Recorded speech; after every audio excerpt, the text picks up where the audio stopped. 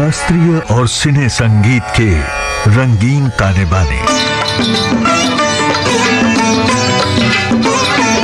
लीजिए सुनिए सुप्रसिद्ध बांसुरी वादक पंडित नित्यानंद हल्दीपुर से ममता सिंह की बातचीत पर आधारित इस श्रृंखला की दसवीं कड़ी।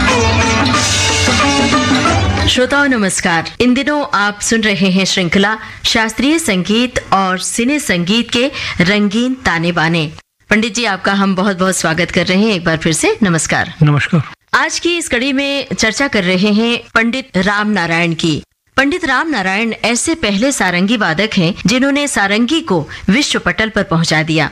फ़िल्मों में उनका काम नायाब रहा है। पंडित जी आप हमारे श्रोताओं को सारंगी और पंडित राम नारायण के बारे में बताइए और उनके वादन की क्या शैली थी? सारंगी एक मुश्किल वाद्य है लेकिन बहुत लोकप्रिय वाद्य है। लोकवाद्य करके प्रचार में आया था लेकिन फिर उसके गले के साथ जो उसकी समानता है उसकी वजह से उसको आस्ते आस्ते वो संगीत में प्रमुख वाद्य करके जो आया उसका श्रेय मेरे ख्याल से रामनारायण जी को ही देना चाहिए पंडित रामनारायण जी को। और ज़्यादा करके ये वाद्य संगत में बचता था। पंडित रामनारायण जी ने थोड़ा प्राधान्य देके इसके सोलो वादन का प्रचार शुरू किया। और तब से सारंगी एक सोलो वाद्य के नाम से भी आजकल सुनाई देता है।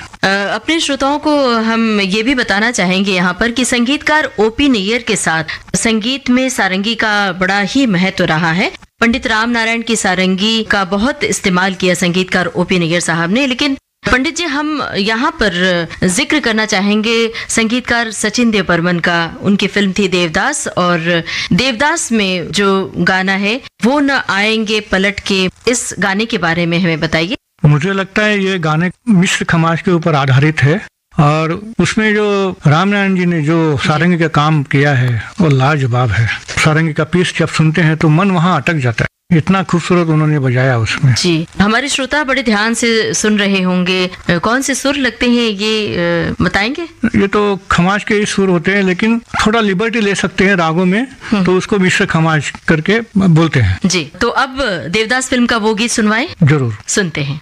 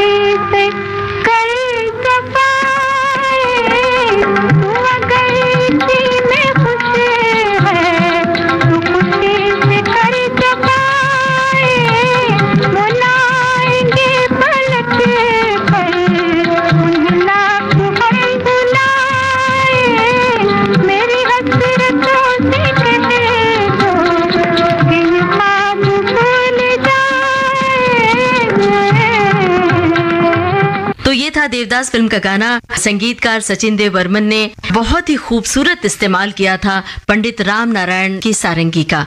और अब पंडित राम नारायण साहब की सारंगी का खूबसूरत झलक हम देखते हैं इस गाने में, जो श्रोताओं को सुनवाएँगे अदालत फ़िल्म से। मदन मोहन साहब इसके संगीतकार हैं। फ़िल्म आई थी उन्नीस सौ अट्ठावन में। पंडित जी, इस गाने की कुछ बारीकी बताएँगे आप? ये गाना मेरे ख्याल से राग कलावती के स्वरों पर आधारित है और पंडित जी का जो सारंगी का इसमें बजाना है बहुत ही खूबसूरत मतलब जिसको हम लोग सपाट ताने बोलते हैं वो सपाट अंग जो तानों का है जी। वो पंडित जी इतने सफ़ाई से बजाते हैं और मुर्की और खटके जो है वो सुनते वाह निकलती है जी। पंडित जी के एक और भी खासियत है जो बोइंग टेक्निक बोलते हैं, जो बो होता है तो वो उनका जो सबसे एक प्लस पॉइंट कहा जा सकता है कि स्वरों का टिकना, बो के वजह से वो स्वरों का एक कंटिन्यूटी जो होती है, वो बहुत ही खूबसूरत उन्होंने बताई है उसमें।